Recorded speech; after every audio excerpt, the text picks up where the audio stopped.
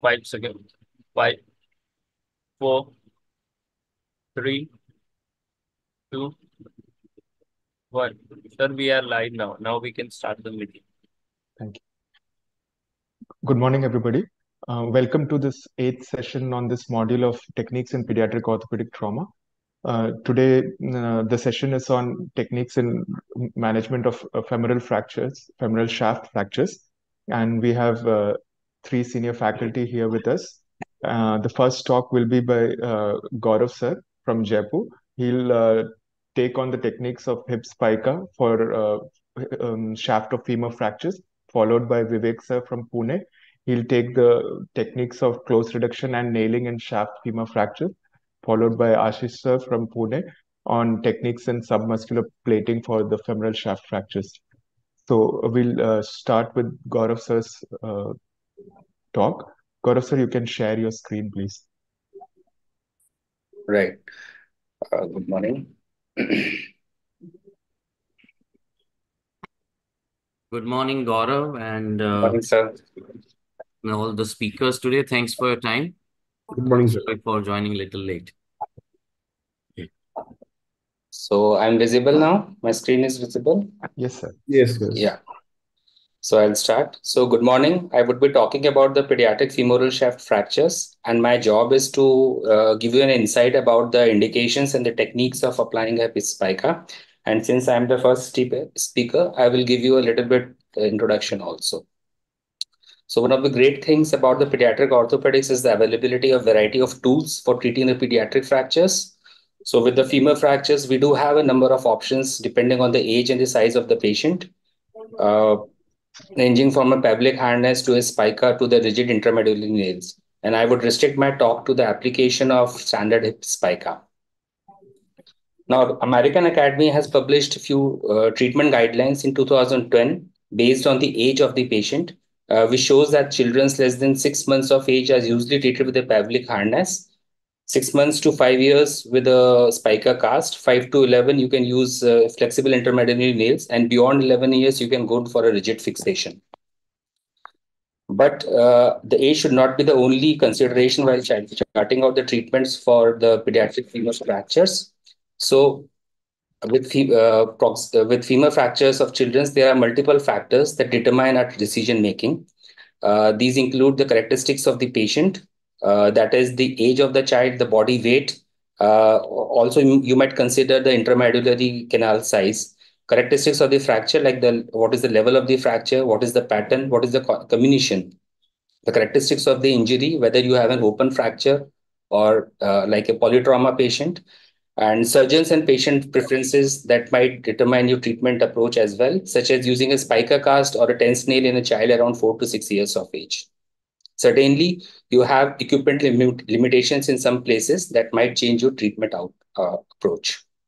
Now, this American Academy has put up guidelines in 2002 and they have updated in 2015 for the pediatric femur fractures. But the problem is that if you look um, uh, if you look at the evidences for most of the treatment strategies for femur fracture, they are pretty poor or limited. So recently, uh, they have published on the changing trends in the pediatric femur fracture management. And this study was conducted for on almost more than uh, uh 4,500 patients in 50 large pediatric children's hospitals in USA. And what they have found is that there's a decreasing trend towards the use of spica casting in children's up to six years of age and there's an increasing trend towards the use of intramedullary fixation in children uh, between four to six years of age. So uh, what they have concluded is that there's a recent increase in the utilization of internal fixation for the treatment of femur fractures uh, in younger children. And the intramedullary nailing and the plate osteosynthesis has been used in increasingly over time for a patients aged four to six years of age. So uh, I think we need to reconsider our treatment guidelines, which was published in 2010, uh, wherein the six to five years of child, they are further divided into two categories. That is uh, the younger group up to two years of age. Uh, the spica casting is the line of treatment, whereas the children beyond the two years can, can be considered for the uh, flexible nails. Similarly, the trochanteric nail, which was earlier advocated after 11 years of age, can now be uh, done beyond uh, eight years of age. So there is no one treatment uh, method that is universally ideal. Uh, and it is very important to be familiar with the multiple options available if you are treating a child in adolescent age group for a femur fractures. Now, uh, the, the fractures are classified according to the AO classification. Uh, but for the treatment purposes, it, it it's boiled down to whether the fracture is a stable fracture or an unstable length stable or a length unstable fracture and the amount of shortening associated with it. And the goal of management is to restore the alignment of the fracture. Uh, Rockwood and Green has uh, published the acceptable angulation criteria, which shows that the closer you get to the skeletal maturity, the less angulation is tolerated. And so you need to treat these fractures uh, actively. Uh, now, coming to our topic of hip spica casting, whether it's uh, uh, immediate spica after the fracture or delayed for a few days, I think the good thing about the casting is that it requires a little hospitalization. Uh, just an overnight stay would be good, uh, relatively inexpensive, and you can apply uh, them in sedation. But I generally prefer to you uh, to apply them in under GA. Now, there are few relative contraindication, relative contraindication that is a shortening of more than two centimeters and an absolute contraindication is a high energy trauma or a polytrauma patient. However, it requires uh, the attention to details and subsequent follow-up is mandatory. Now, if there is a shortening of more than two centimeters of the initial X-ray films and the fracture overlaps more than uh, three centimeters or gentle telescoping under GA, and these are the candidates that are not suitable for an early hip spica, and you need to give traction before applying a hip spica for these patients. So now, uh, in order to put an effective hip spica, we need to know what are the deforming forces acting on the fracture site. So uh, uh, in this fracture pattern, the proximal fragment drifts into the flexion and external rotation. Uh, now, uh, this is a flexion and external rotation of the proximal fragment. Now, if you look at the muscle forces around the site, you will find that there are multiple uh, there the main muscle involved on the proximal fragment is the iliopsoas, which produces the flexion and external rotation. So the distal fragment has to be aligned with the proximal fragment so as to achieve a position of maximum relaxation. So uh, the hip spica in this in these patients applied in a position of flexion, abduction, and external rotation. Uh, you we, we all know the rule of 30 degrees flexion, abduction, external rotation so as to achieve so as to align the fracture now, another patient, if you see a fracture pattern like this, what you see that there is adduction of the distal fraction and proximal fragment is in varus. Okay. Now, uh, it is basically due to the combined effect of the adductors pulling the proximal fragment laterally and the medial hamstrings and the adductors pulling the distal fragment medially. So in order to put a spica of uh, spica in a position of maximum relaxation, not much abduction is needed as it will cause a more varus at the fracture site. So a little abduction with a valgus mold is required. So a single leg, leg spica, single leg hip spica can be applied. And also it avoids uh, getting into the position of ulnar paradox. Another patient where you see that there is significant shortening. So what are the muscles involved here? Uh, it's basically a combination of the hamstrings posteriorly and the quadriceps anteriorly. And uh, so you need to do something to pull the fragments apart. So you need to use a traction for a few weeks before applying a uh, hip spica. And that is what is called as a delayed hip spica. Okay. So uh, hip spica should be applied in a position of maximum relaxation. It depends on the type of the fracture, the configuration, and the pattern of the fracture.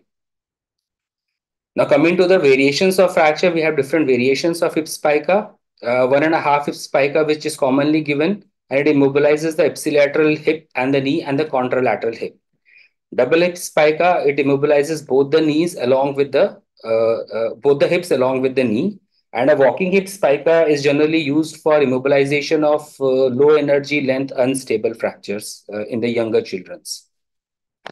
Now the technique, uh, now, what are the materials which are required for the application of hip spica and how to prepare them? So you need to have a stockinets, one a larger diameter for the torso and a smaller diameter for the legs. Uh, you need to have soft rolls, six inches and four inches, at least two to three rolls. Plaster bandages, six inches, four inches, at least uh, three or four rolls, and one or two rolls of the fiber cast. Now, the important determinant uh, for a good hip spica application is the need of a prolonged immobilization of the child during the process of cast application and which is achieved by using a unique table, what is called as a hip spica table. And ideally, it should be a user-friendly, portable, and the mounting and unmounting of the child on the table should be easy. So uh, there is no universally accepted uh, standard design available, but if you look at the different hip spica table tables available in the market, whether they are company made or locally built or customized as per the surgeon's preference, they have the two main components that are common in all of them. That is a torso support or a spine support and a sacral support or a perineal post. Okay. I think uh, at this point, it's worth mentioning about the spica table, which is designed and customized by uh, our Dr. Uh, Maulin Shah and uh, it's basically a metal base, uh, uh, a, tri- a rectangular metal base with some pillar with three pillars, and acrylic sheet over it. It's a triangular sheet. although I have not used it, but I think it's a good uh, spica table, and everybody should have his have this in in his OT. OT. However, uh, I use a very low tech e- equipment, which is just a wooden plank of around uh, one meter in length and thickness around one centimeters. You can use a lesser width plank for a smaller children's. Although it is not mentioned in the books, but I have used this. I've I've seen this during my residency, and since since then, then that I'm using this uh, wooden plank for it. Now, what is the position of the patient? The wood plank is placed perpendicular over the uh, operating table, and child is placed over the edge of the table with the lower body supported on the wooden plank which is slides underneath the child's buttock with the inferior edge of the plank at the level of the perineum. So you can see the red thing, that is the wooden plank. now, an assistant, uh, the assistant stands at the uh, foot end of the patient and holds the lower limb in the desired position of immobilization. And another assistant stands on the head end and he stabilizes the wood plank. Now the stockinette is applied all over the trunk from nipple line superiorly to the inferior gluteal, uh, gluteal fold posteriorly and the inguinal region. Also, uh, make sure that uh, the folded towel is placed, which, which extends from the xiphisternum all the way inferiorly to the perineum. And uh, the smaller, the small, the smaller stockinettes are uh, rolled across the lower limbs. The cotton roll is applied all over the stockinette and two to three layers of the plaster of Paris are applied. Pelvic part extends from the xiphisternum superiorly to the uh, superior pubic region inferiorly. Avoid excessive pressure while rolling the bandages. And in the inguinal region, the cast is rolled in the figure of eight configuration uh, like this. And the thigh and the leg portions are then applied separately. Uh, in the, uh, the inguinal region and the knees are the common site of cast breakage. So the reinforcement of these regions with additional slab is important. The knee is reinforced with the 8 to 10 layers of plaster slab on the anterior aspect of the knee, while the inguinal region is reinforced with a transverse slab along the superior edge of the pelvic portion posteriorly, and then it is looped around the inguinal region to the posterior aspect of the thigh. Now, additional uh, plaster bandages are applied for completion and the patient is shifted on onto the operating table. Uh, the plank and the abdominal padding is gently removed by sliding it proximally, and all the edges of the plaster are checked for padding. The stockinette is turned around, and the POP strips are applied to secure the uh, edges of the stockinette. Ensure that there should be enough space in the abdomen and for the perineal hygiene. At the end, you can reinforce it with one or two plaster bandages of the fiber cast for additional stability. I usually do it on the day of discharge because the plaster takes around uh, 24 to 48 hours to dry. up. A smaller dri size diaper is applied covering the perineum and it is completely tucked, up, tucked inside the plaster. A larger size diameter is then applied over the perineum from outside. Uh, uh, in follow-up, check reduction weekly till three weeks uh, if the alignment is not acceptable, you can you can recast it or do a wedging, which is usually done at uh, at the second week.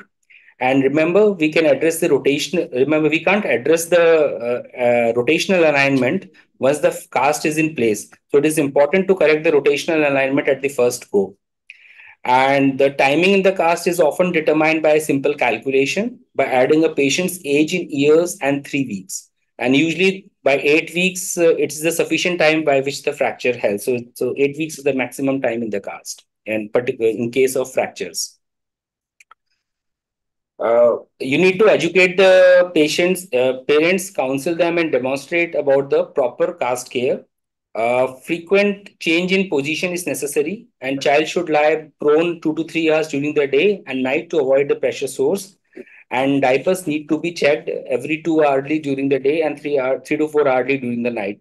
And they must be changed as soon as they are soiled up. Now, the important thing is to place a pillow under the lower limbs. Uh, it prevents the anterior tilt of the superior edge of the plaster, which impinges on the lower back, and you might get a pressure so uh, because of that. Uh, skin care, mother should be advised to check the, for the redness, for the blisters, or for the sore under the cast. They can use a torch uh, to do that.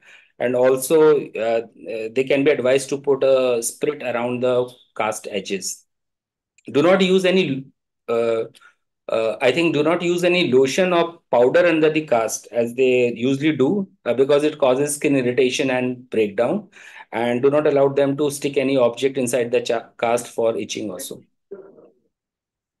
Now, the complications of the spica casts are pretty high, which are close to 45%, and we have all seen dirty spicas in the OPD and in the emergencies. Skin breakdown is probably the number one problem, but uh, you can lose reduction also either in a varus position or due to shortening. Peroneal nerve palsy is uncommon, but it is common in 90-90 cast. And the cast has a significant impact on the family in terms of child lying in the bed for almost three to four weeks. And the superior mesenteric artery syndrome, I have not seen it. It is just for completion, uh, where there is a partial or complete obstruction of the duodenum due to the tight plaster around the abdomen. So uh, coming to the conclusion, uh, it's unusual. It's a useful immobilization method for the hip and femur pathologies in the pediatric age group, particularly for the fractures. A proper technique and attention to details are important to have a good spica and complications can occur and but should be watched for in the post application period particularly the skin skin source plaster source and uh, wound. Okay. Thank you.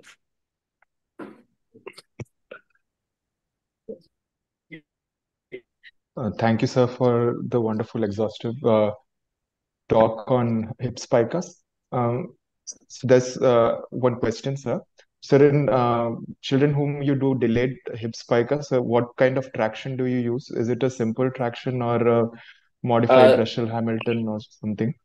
Uh, I think uh, uh, the the ideal is to give a modified Russell's traction, but uh, generally now I think uh, we don't have a setup or uh, to have a Russell's traction, so we ju we just give a simple traction for like maybe week or so, and once the fractures, once the shortening is is reduced, then we can apply a, a normal hip spica.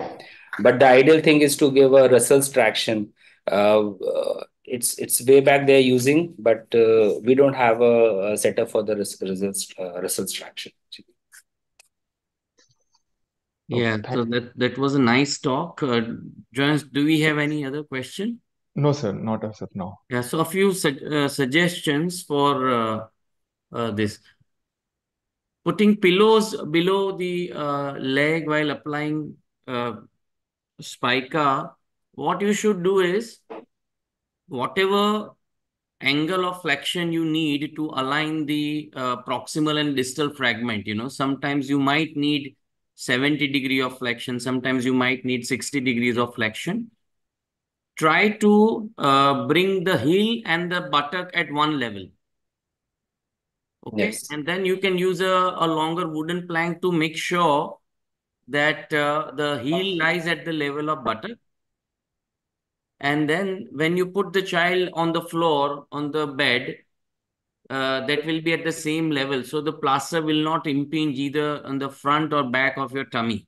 So that is uh, how I teach my fellows to uh, apply plaster.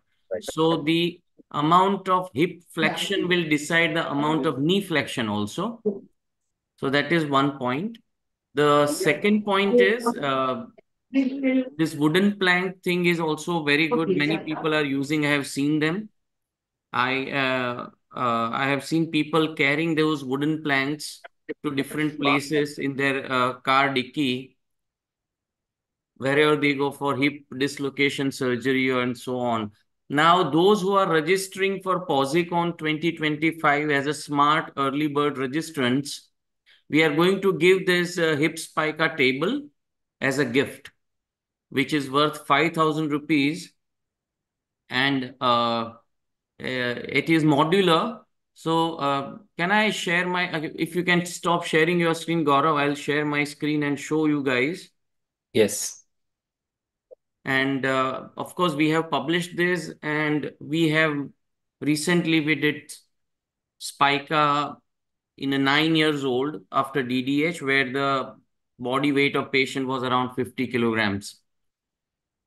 So Gaurav, you can share your, uh, uh, stop Yeah. sharing your, I think there's some problem. you Is have it? to go and No. share screen thing and then you can stop sharing. Is it? Is it now? Okay. No? Let me see if I can. uh, Yeah, let me share my screen in a moment. Where's the desktop? Yes, I'll take just a brief minute, okay? Okay. sir. Mhm. Meetings.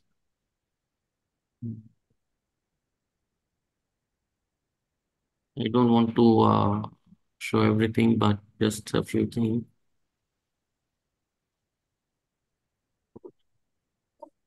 Yeah, here it is.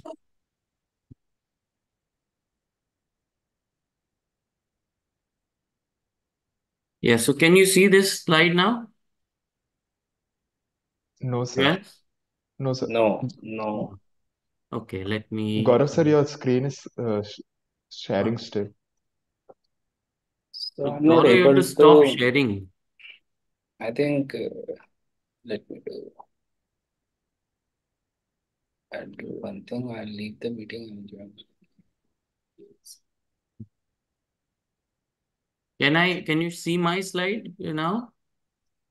No, sir. No. So, Yes, and, but you see Gaurav's slides? yes, sir. Now we can see. You can see my slide now? Yes, sir. Okay, fine. So, just a moment. Let me make it a full screen. So, yeah. So, Gaurav and other uh, delegates, this is the portable hip spica table which we are going to give as a gift to all the early bird registrants. Now, there is an acrylic sheet as you can see on the top, which is fairly thick. So when you remove it, there is enough space around tummy and there is space underneath. The pillar's height is about uh, uh, uh, six inches. So it is very easy to wrap plaster around. And this is how it looks. So you can take off the uh, top uh, acrylic sheet and then you can unscrew the pillars and it is just like this. So you can carry this in your bag uh, or very easily. And so we are planning to pack it and give it to all the delegates, which can be easily put in checked in baggage. And if you want to uh, station it in your theater, you can get it welded, all the three pillars, which we do now. Or if you are doing practice at multiple places, you can take it and it can be easily mounted. So this is one thing. The second thing is uh, uh, hip spica stroller, which we have developed. And uh, that hip spica stroller also makes life very easy. You know, most of the time, uh, adult orthopedic colleagues and the patients, they are afraid of uh, hip spica because they fear that how we will take care of the child. So once we finish today's talk, if we have time, uh, Joyance would show you some pictures of hip spica stroller and how, how it works. So overall, Gaurav, that was a great talk. Yeah. So just one, uh, like about your table, uh, till what age group we can use this table? Like, uh, The uh, age से भी important है weight. We have done Weight. highest weight is of 50 kilogram. almost an adult, huh? Ah, Yeah, and okay. one uh, yeah, the recently we did a DDH in a nine years old. There also we could mount this patient because this acrylic sheet is very thick and very uh, you know solid. Yeah. So we have tried it, most of our hip spica children are uh, uh, or DDH up to four five years. They weigh up to 25 kgs at the most. So this can be used for all the children. Yeah. Joyance, we can go on for the next talk. Yes. Sir. So the next talk will be by Ashish sir on submuscular plating. Ashish sir, you can share your screen. Good morning, everyone. Thank you, Maulin and Jayant. It's a pleasure to be here. So I'm going to talk about the technique of submuscular plating. Let's start straight away with the case. 11-year-old boy weighing 45 kgs while crossing the road got hit by a car. And this is the picture. And there are various ways to treat this, but um, we have been treating these fractures with submuscular plating using uh, standard DCP, non-locking plate. So in general, we do it supine on a fracture table. Uh, with traction, we reduce the fracture and maintain the reduction. And majority of the times we use 4.5 millimeter narrow DCP, somewhere in the range 9 to 17. Very rarely we have used 3.5 mm DCP and we contour it on table as we can see. So that's how we position the patient. We make sure that we, we get a good lateral view. Uh, that That's why we are checking. We can see the proximal fragment like DHS standard um, fracture table construct. That's the reduction. Uh, it is not, it is pretty well aligned, not perfect, but some uh, pliability is okay uh, we can manage, we can maintain the alignment intraoperatively. Uh, so we make a distal incision when we put a Cobb through to create a submuscular tunnel. It's extraperiosteal plate. And we try to aim with the tip of the Cobb up to the greater trochanter. So here we start um, we are marking we are marking the fracture site where the fracture is and um, we will be marking the proximal incision and the distal incision. I'm marking how long the oblique spiral fragments are proximally and distally. So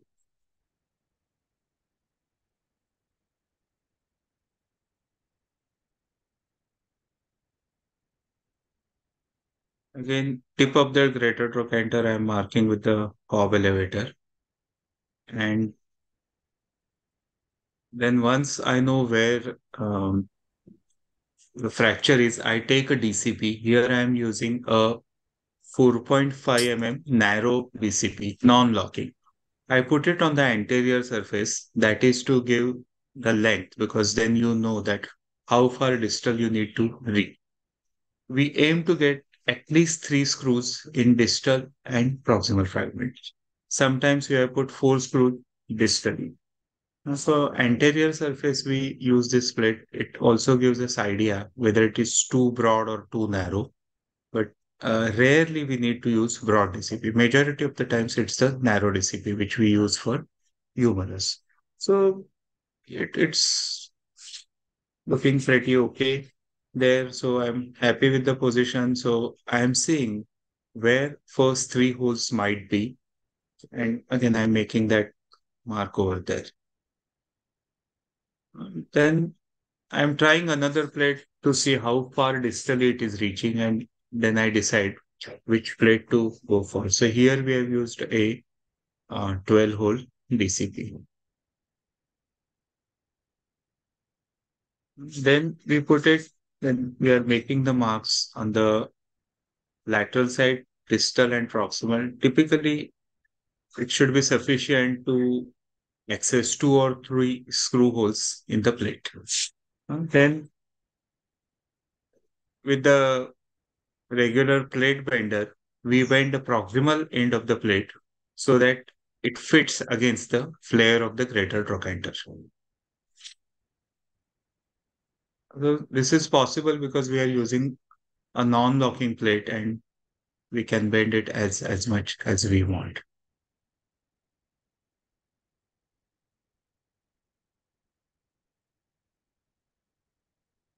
So that is to accommodate the flare of the greater trochanter. So now our implant is ready. That's how it looks.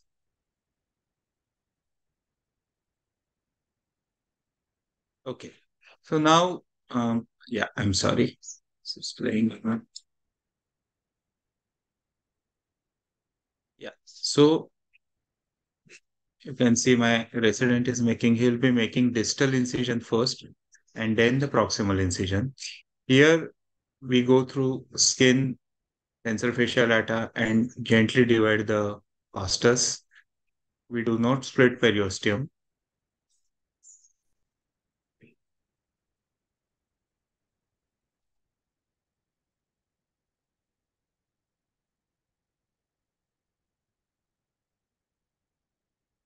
Creating a tunnel and then creating space for the plate and is sliding it proximally to create the tunnel for the plate. Okay, so that's how it looks. You can see the tip of the Cobb reaching into the proximal fragment.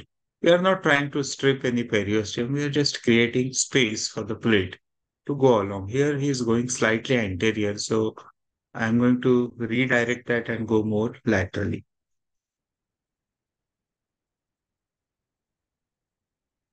And then once we palpate the tip, we make the proximal incision.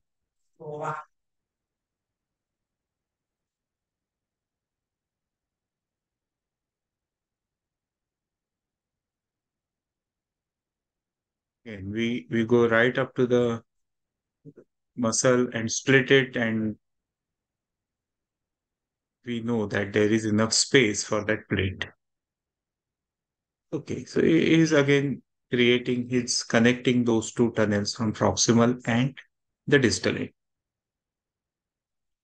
Okay, so now with the with a Kocher, we slide that plate and create some space distally and we put uh, bone spike or Hohmann so that we can see the end of the plate.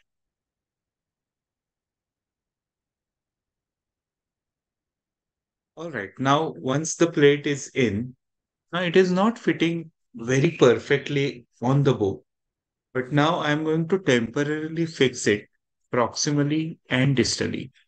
So we are using K wires into the holes of the plate for temporary fixation.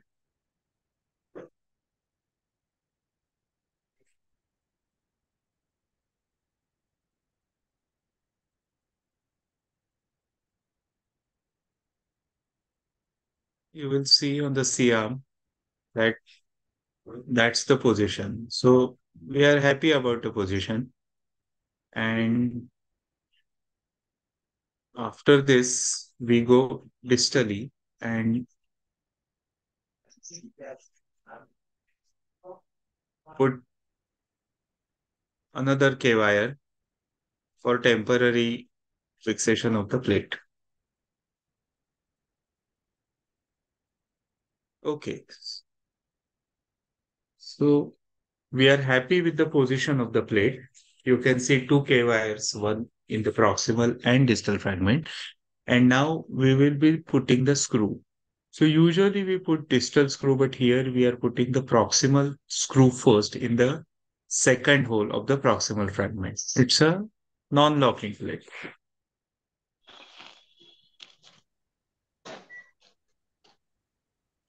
So again, we have checked the lateral view. It, it looks okay. We are checking the length and then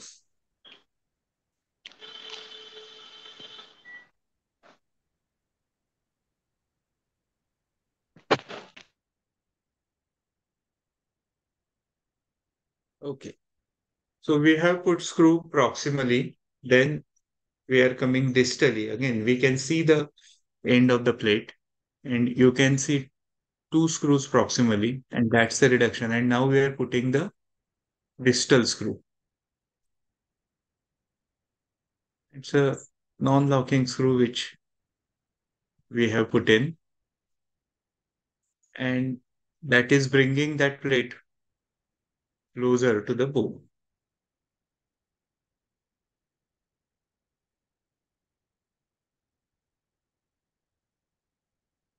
That's how it looks. We take pictures, AP and lateral view at this, and we thought the, the alignment is pretty reasonable. So we decided to go ahead with rest of the screws. So, so that is like just filling in the blanks. So we are putting in screws proximally and distally. So excuse me, here we are putting in three screws in the proximal fragment and distal fragment.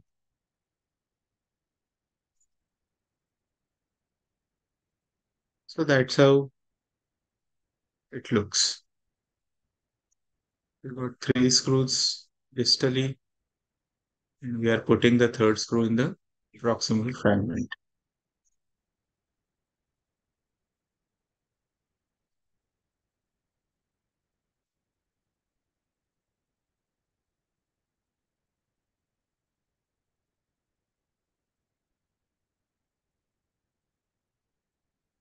So that is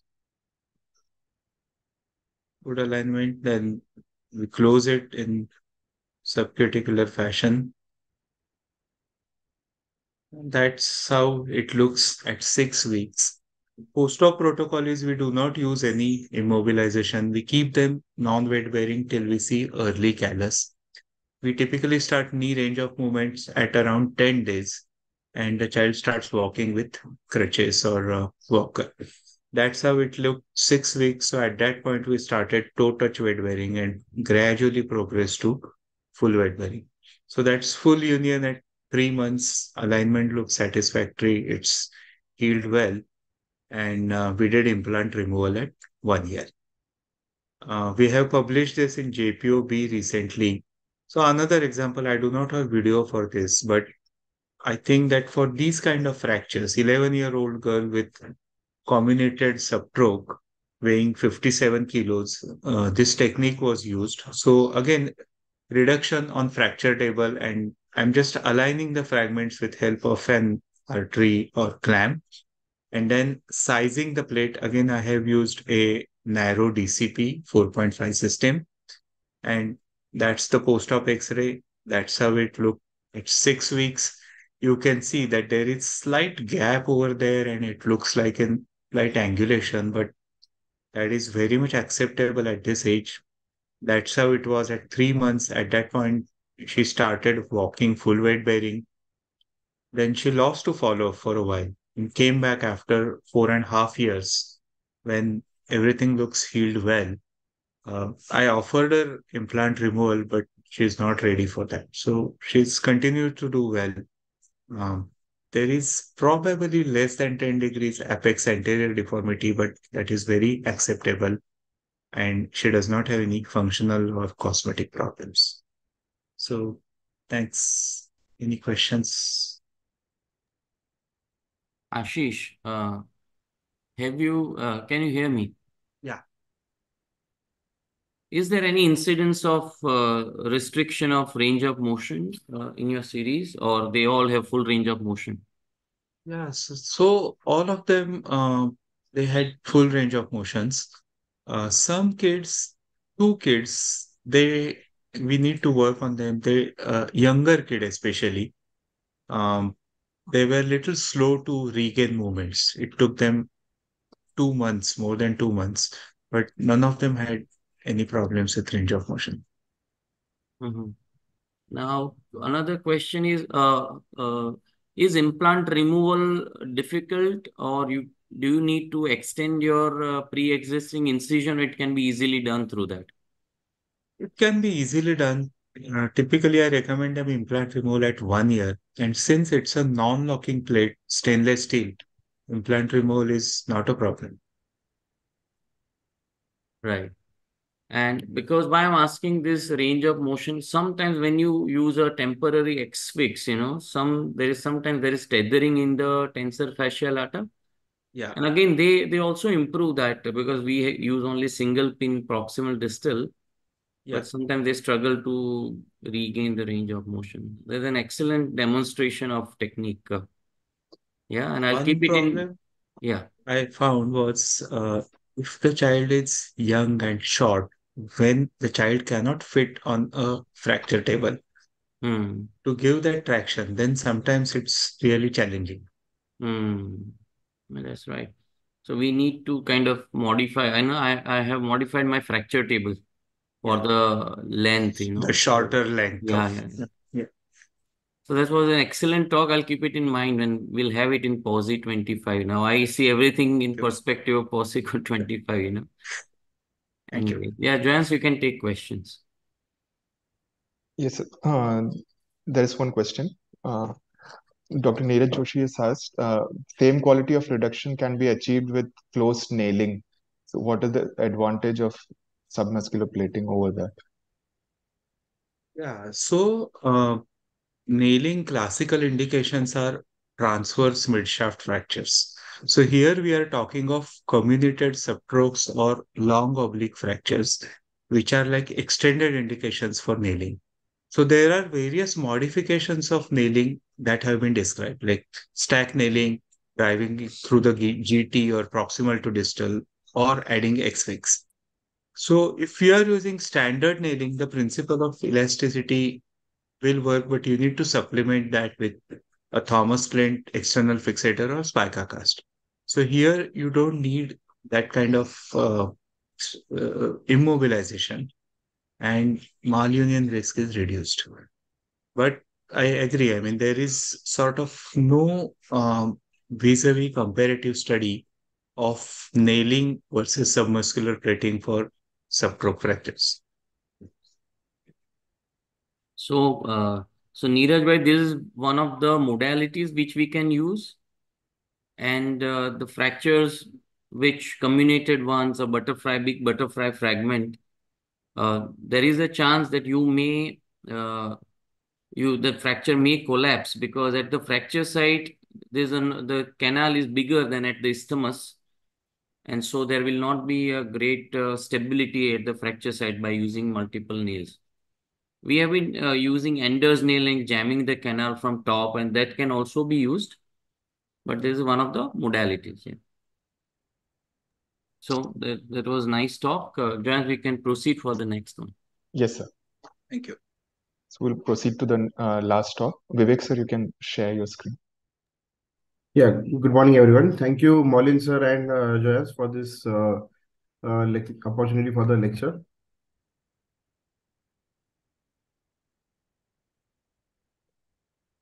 Is my screen visible now? Yes, sir.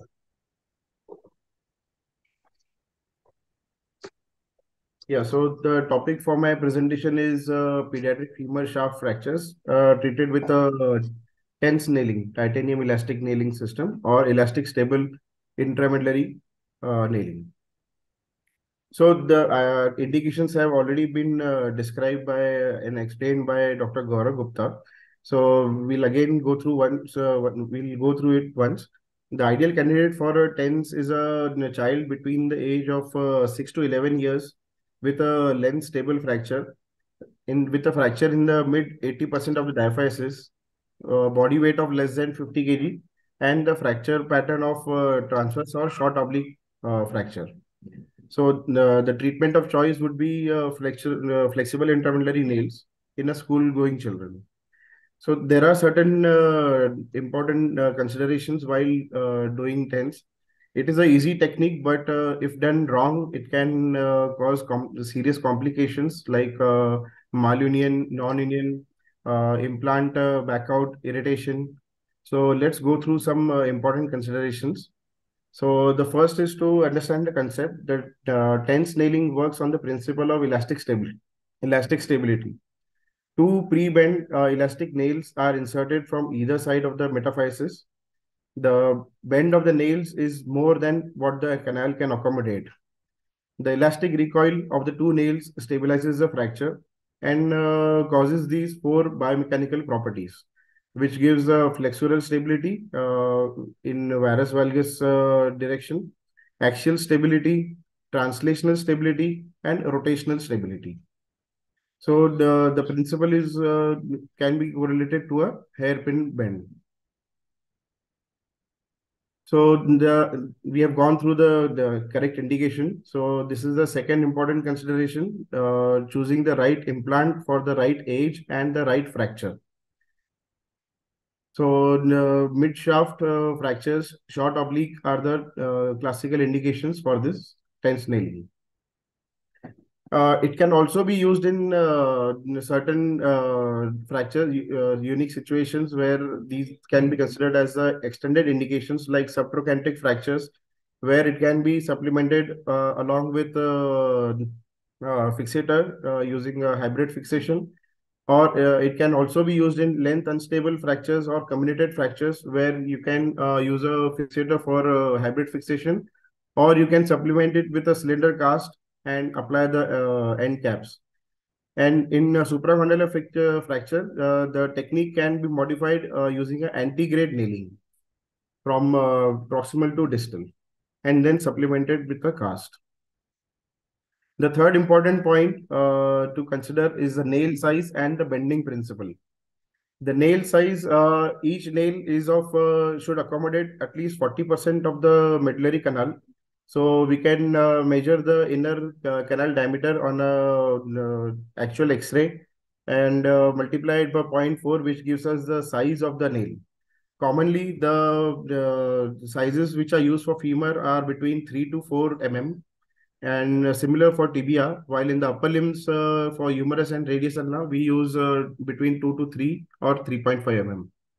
So alternatively, uh, we can uh, use a mm, uh, we can put the nails on the patient's thigh and take a C-arm picture and uh, see the percentage of uh, canal that it occupies, both the nails.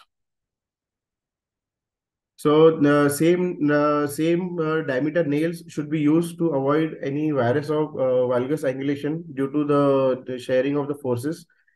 Pre-bend the nails at the apex uh, which should be at least three times the inner diameter of the canal.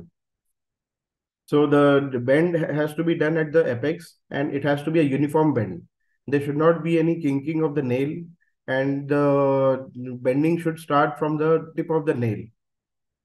And symmetrical bending is uh, performed for both the nails uh, for a mid-shaft fracture. So as we can see that uh, we can uh, put the nails on the thigh of the patient mark the fracture site and uh, that should be the apex of the spindle, uh, apex of the bend and uh, both the nails are bent before uh, starting the procedure. Uh, adequate entry point. So we should not hesitate to take a good incision for uh, making a adequate entry point because we are close to the physis. we should take proper care to avoid any injury to the physeal plate the ideal entry point is uh, 1 to 2 centimeter proximal to the distal uh, femur physis. So as we have we are seeing in the uh, diagram here, so uh, alternatively one finger breadth above the superior pole of the patella or 1 to 2 centimeter proximal to the distal femur physis. That should be the entry point and uh, we can mark with the K wire uh, uh, passing transversely so that uh, we can get a similar entry point on the other side as well the entry point is uh, taken at 90 degrees uh, with the awl and then uh, the 45 degree bend is taken to uh, directed towards the medullary canal.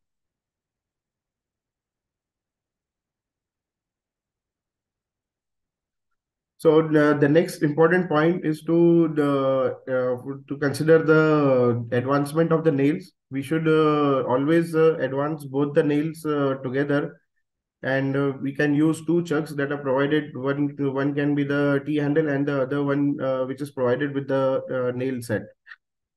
So once we enter the, the medullary canal the uh, tip faces towards uh, in a perpendicular fashion. And then uh, we have to rotate it 180 degree to direct it towards the medullary canal so once we uh, enter the, uh, uh, lateral nail, we can then uh, pass on to the medial nail entry side. Uh, and then we advance it simultaneously. We care should be taken to not hammer through the T handle and avoid rotation more than 180 degree to prevent locking of the nails which is also known as snaking of the nails.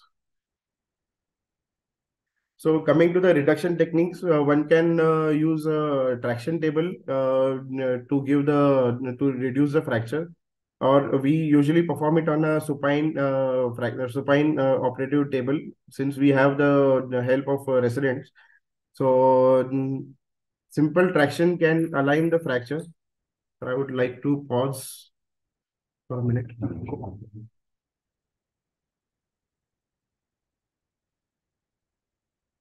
Sorry,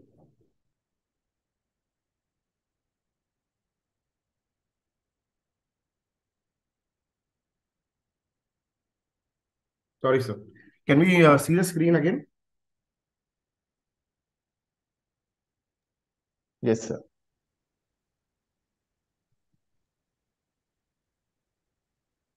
Yeah, so uh, we can use a traction table or uh, we can all uh, uh also a fracture on a supine operating table.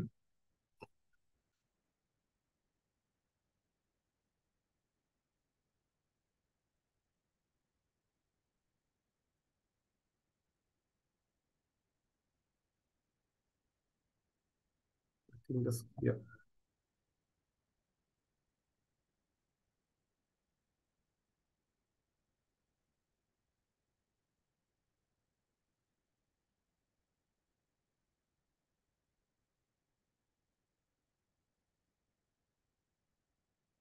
Just give me a minute. I think the screen is hanging.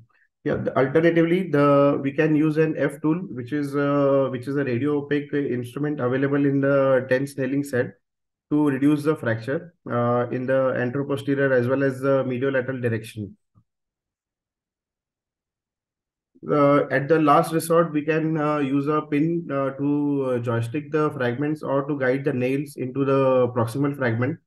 And we can also use the ho uh, hockey stick bend as to direct and make an entry into the fracture and then rotate the nail to align the fracture and advance the nails. So these are the reduction techniques that are uh, commonly used. One can easily go through each of the uh, reduction techniques and uh, achieve a good reduction. The next important point is to maintain the length, axis and rotation at all times. So the in length unstable fractures or comminuted fractures, the nail can easily back out, causing uh, loosening or protrusion of the nails in that situation, we can uh, use the end caps which are uh, provided with the set, or uh, we can supplement the fixation of the nails with the uh, fixate external fixator for a short uh, period of time. So uh, sharing an example where there is a subtrochanteric fracture of the femur and it is a long spiral fracture as we can see on the first x-ray in the AP as well as the lateral view. So in this uh, situation, uh, to prevent the shortening and uh, to prevent the nail back out, we can use the, the, end caps which are helpful in maintaining the length. So this fracture went on to heal well. So coming to the hybrid fixation, uh, it has its own uh, uh, indications where there is a length unstable fracture, segmental fracture or comminuted fracture where you can uh, put the intramedullary nails to align the fracture and uh, to maintain the length, we can use a hybrid fixator. Uh, the fixator can be removed by the, the period of uh, three to four weeks, depending on the age. In younger children, less than eight years, we can uh, remove the fixator early at three weeks once the callus is seen. Or in uh, older children, by the end of six weeks, we can remove the fixator. So the next important point to consider is the uh, rotations. Uh, during the procedure, we have to uh, uh make sure the rotations are correct by looking at the tip of the nails and the lesser trochanter. If the lesser trochanter is seen well, then the uh, proximal fragment seems to be rotated in external rotation. So we need to revise the uh, reduction, use a pin to joystick the proximal fragment and put the nails again. So one such uh, uh, scenario where we can see there is a malrotation of the left uh, femur. The there is a exaggerated external rotation and restricted internal rotation. So this should be prevented intraoperatively. So uh, coming to the, the, trimming of the nails, once the uh, nails have been uh, seated in the metaphyseal region, so the trimming of the nails is important because uh, it can cause complications if the nails are too proud, if the nails are too long, it can irritate the bursa and cause synovial inflammation and uh, prevent the knee flexion. In uh, severe cases, it may cause infection as well. So ideally, the nails are to be uh, cut flush to the cortex. Uh, we usually leave uh, one to one and a half centimeter nail outside the bone for easy removal and to prevent nail irritation.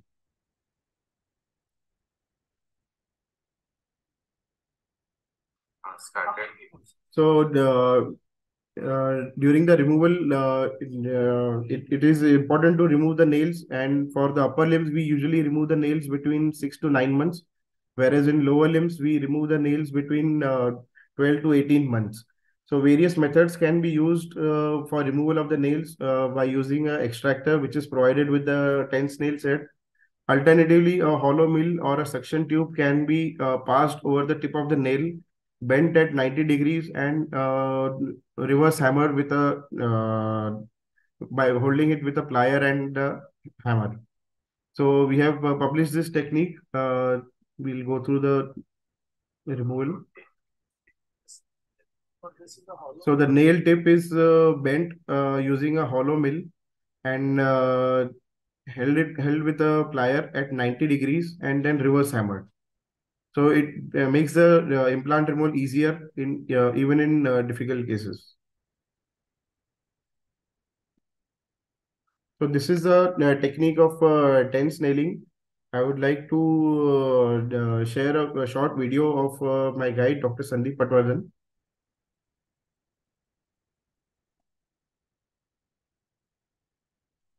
So this is the standard OT setup where we can see the C-arm at a uh, Uh, right angle to the OT table, the mm, uh, mm, uh, uh, uh, patient, the operative side is the, the left side and the TV in front of the opposite side to the surgeon.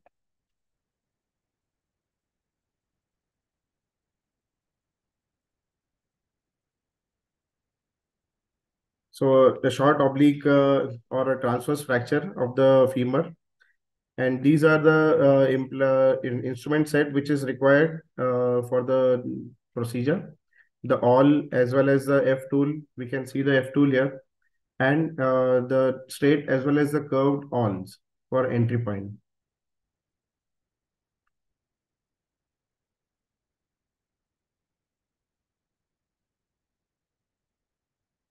So uh, first step is to uh, check for the diameter of the nails see how much it uh, accommodates the medullary canal.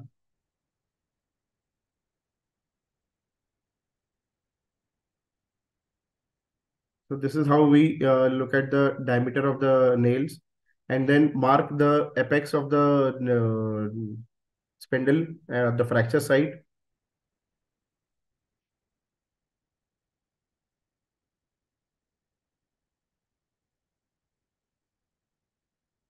and a gentle curve is uh, given to the uh, gentle bend is given to the nail starting from the uh, apex of the fracture. And then it is uh, uh, uniformly uh, curved till the tip of the nail. Similar procedure is re repeated for the second nail. The bend of the nail should be the should be at three times the diameter of the canal and symmetrical bending of the nails.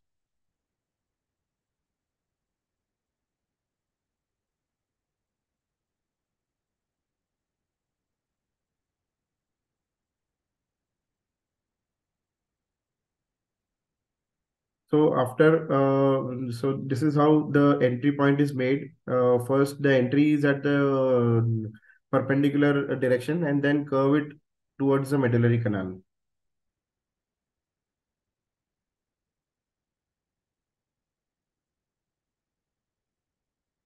And the first nail is inserted bring it to the fracture side do not uh, advance the uh, single nail uh, beyond the fracture side we should bring both the nails at the fracture site and then advance the nails.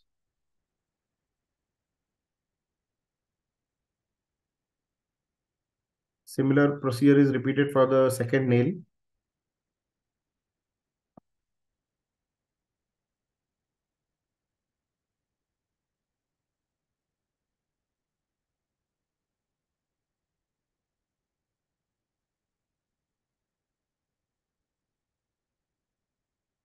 Yeah, so the, mm, we keep on advancing the nail. Both nails uh, should be advanced at simultaneously using two chucks. The assistant, one assistant can advance from the opposite side, bring it to the fracture side, both uh, keep uh, both the nails at the fracture side and then perform your reduction uh, using uh, your reduction techniques with traction or uh, you can use a F tool to maintain the reduction and then pass the nail.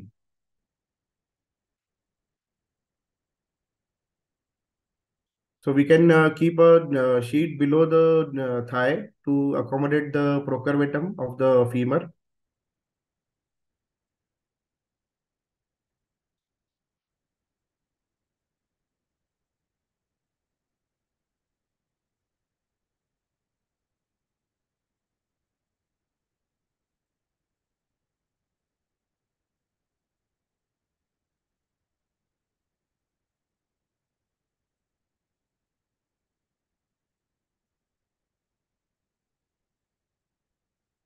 So once we advance the nail, as we can see that the due to the uh, uh, elastic uh, principle of the nail, it goes into valgus. If a lateral nail is inserted first, there it goes into valgus. If the medial nail is inserted, it goes into varus, which gets corrected once the second nail is inserted.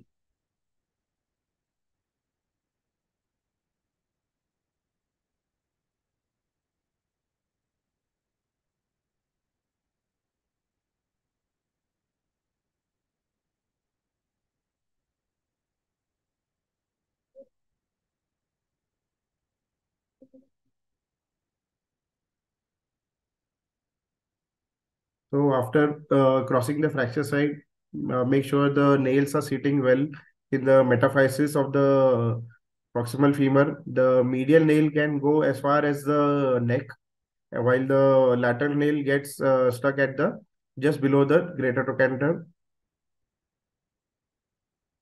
We check the alignment in the lateral position.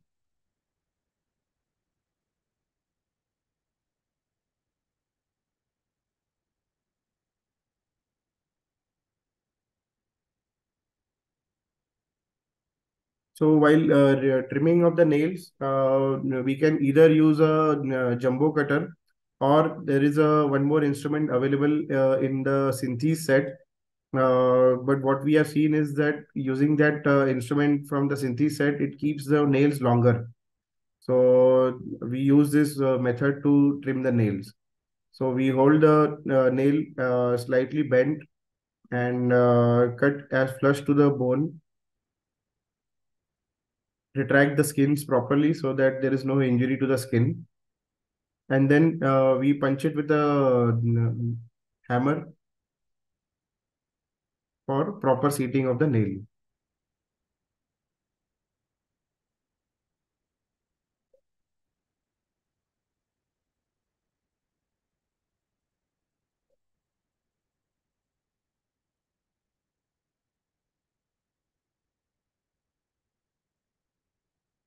So as we can see, the spindle is uh, properly achieved at the fracture site with uh, two crossings, one uh, in the distal fragment and one in the proximal fragment and proper seating of the nails in the both the metaphysis, proximal as well as distal.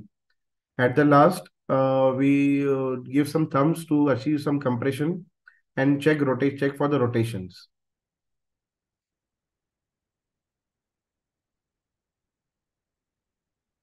So uh, one such example of a case of a proximal femur fracture, shaft fracture, which was uh, treated with the similar TENS technique, which went on to heal well. And uh, second case of a, uh, uh, which was a previously elsewhere treated uh, distal femur shaft fracture. as we can see that the fracture went into procurvatum and there was loosening of the K wires which was uh, treated with the antegrade uh, TENS nailing, which also went on to heal well with the plaster as well as TENS nailing. The post-operative immobilization protocol involves a cast for at least three weeks. Uh, we can also use a long leg knee brace and uh, start with the knee range of motion. And we keep the child uh, non-weight bearing for six weeks. And then uh, full weight bearing is completely achieved by the end of three months. Thank you. Thank you, sir, for the wonderful talk and the technique. So there is one question uh, from uh, Dr. Praful. Uh, he's asked, does it, uh, we bend the, pre-bend the nails. So he's asked, does it not unbend while you are putting it and pushing in the medullary canal? So uh, it uh, if we put the bent nail in the chuck till the till the tip, it it it tries to unbend. So make sure that you keep the bent part of the nail outside the chuck for uh, easy insertion. But if you have uh, properly bent the nail uh, for three times the diameter, so that's why we bend the nail more than the canal so that it can accommodate that much bend. And usually it doesn't unbend on its own. Okay, sir. Thank you, sir. So as of now, there are no other questions. So thank okay. you, sir, for the talk. Mm, so we'll conclude today's session. Uh,